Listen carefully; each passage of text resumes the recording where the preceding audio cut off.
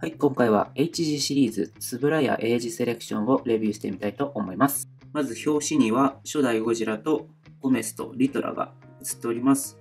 この2001年があの特撮の、えー偉大なる巨人、つぶらやエイジさんの生誕100周年だったということで、このガチャガチャでも作成されたという経緯があったと思います。で、えーラインナップとしては、ウルトラ Q からナメゴン、リトラ、ゴメス。で、ゴジラシリーズからは、アンギラス1955、ゴジラ1955、ゴジラ1954となっております。つぶらやいじさんの誕生日は7月7日なので、えーこの、たまたまこの7月に合わせて発売されたと記憶しております。はい、まずはこちらの1954年、初代ゴジラですね。からレビューしてみようと思います。じゃあ HG3 の初代ゴジラと比べてかなり、えー再現が、えーもっと細かくなった感じとなっております。グレードアップして書いてきております。で大きさもかなり大きくなってますし、このずっしりとした、えーこの下半身とかもかなりよくできてると思います。で顔に関してはかなりこの、まあ、正面から見るとちょっとやばい感じなんですけれども、この横から角度からいくとかなり初代ゴジラの雰囲気が出てるのかなと思います。顔ですね。うん。力のアングルの方がかっこいいかなちゃんと下を向いてる感じで。うん。ちょちょっとなんか力の左はちょっとイケメンじゃないですね。ちょっと右右イケメンかな個体差はあるのかもしれないですけど、ゴジラが逆襲からのゴジラとなっております。で、えっ、と、顔はかなり忠実に、えっ、と、逆襲のゴジラが、えー、ガチャガチャ化されてる感があります。で、なぜかちょっと色彩がちょっと茶色っていうのが、えー、不思議な感じになっております。まあ、白黒の映画だったので、まあ、焦げ茶。で、まあ、ご想像に色はお任せっていう感じなんでしょうけども、ここ茶色で出してきたのはすごい、またユニークさが出てますね。で口は開いてないですが、えー牙にちゃんと塗装が入っております。うん、で、背中の背びれ、う、ん爪とか足の爪とかちょっと塗装の色が背びれとは違いますね。うん、ちょ黄色っぽい感じになってます。この体のボディとか、このシュッとなってる感じが、すごい逆襲のゴジラの雰囲気が出てるのかなと思います。で、次がこちら初代アンギラスですね。こちらがゴジラの逆襲に出てきた記念すべきゴジラの敵ですね。敵怪獣として現れたアンギラスです。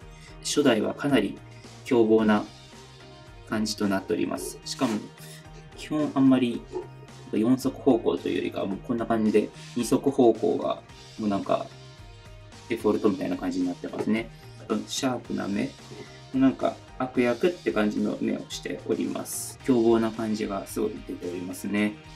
で、背中のこのトゲトゲトゲトゲも、うん、すごい、すごい凝ってますね、これも。なんかちょっと串みたいな感じになってる。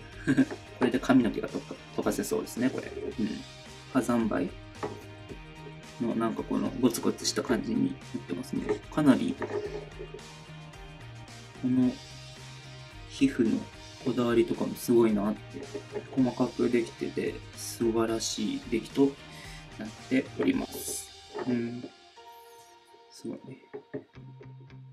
ここの尻尾のトゲトゲもちゃんと表現されてますね。こんな感じでゴジラの逆襲が再現できます。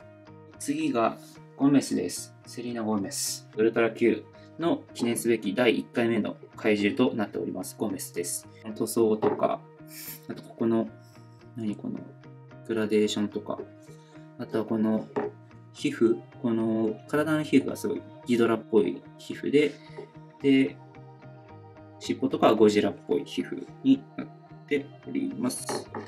で、ここ、ここの尻尾を2つに割れてるというゴジラでもない。で、ちょうどこの2001年は、このスラエージセレクションとは別で結構その100周年記念のあのソフビとかいっぱい発売されたんですが、その中でもゴメスは結構、ゴメスとかジラーシとか、えー、初代ゴジラはこうセットで結構出たりもしてました。初代ゴジラよりちょっと体調が高めとなっております。はい、次がリトラですね。次がリトラです。これも同じくウルトラ Q から出てきた怪獣となっております。で、あの、空飛ぶ怪獣、ちょっとラドンとはまたちょっと違って、これはもう鳥、生地みたいな感じですね、だいぶ。で、ゴメスと戦ってた記憶があります。で、このトンネルのジオラマなんですけれども、このトンネルから出てきた感じで、で、ゴメスと戦ってましたね。でこのリトラの、何この構成がすごくて、なんだろう、この、この細かい作りに加えて、このクリアな尻尾がかなりかっこいいですね。生地の羽のような感じになってます。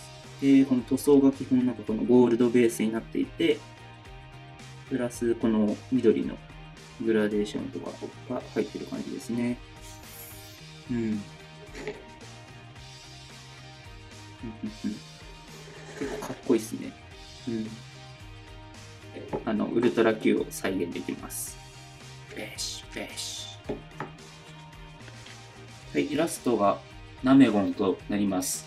なぜナメゴンだったのか、ジラーチとかではなく、ですが、あの、かなり、あの、そのナメゴンのエピソードはすごい気持ち悪かったので、僕も、えー、世代ではないんですけれども、えー、子供の頃に改めて、あのー、なんか、ビデオとか借りてきて見て、気持ち悪っていう思った記憶があります。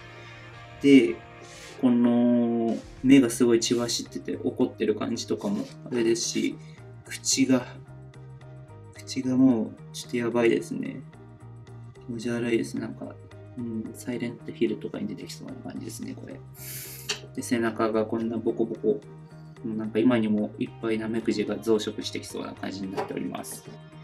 で、塗装的には、まあ、一応、こう、上と下がちょっとブルーとか、こう上がちょっと黄色っぽいとか、一応、グラデーションがまた施されてますね。なんで、こんなシンプルな造形ですが、すごく、あのいい感じに仕上がってきております。